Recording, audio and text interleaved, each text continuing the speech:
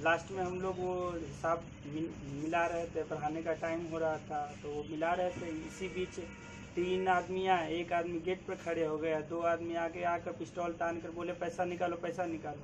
तो इतने में कुछ बोलने वाले थे कि वो हमारे माथे पर एक पिस्टल मार दिए इतने मेरे माथा फट गया।